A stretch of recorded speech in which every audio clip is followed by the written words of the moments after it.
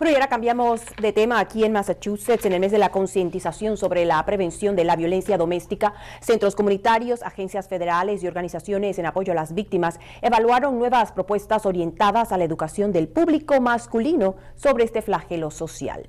En una mesa de discusión se presentaron proyectos informativos con miras a mejorar las campañas para la prevención de la violencia contra la mujer, enfocando los esfuerzos en la educación desde temprana edad en los niños.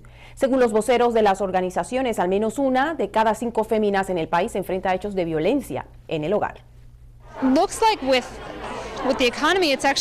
Factores como la falta de una estabilidad económica, en el caso de los hombres, puede incidir en detonar la violencia en el hogar, siendo las mujeres objeto de agresiones. Es por ello que estamos recalcando la importancia de educar a los niños desde la escuela sobre la importancia de respetar la integridad de sus parejas.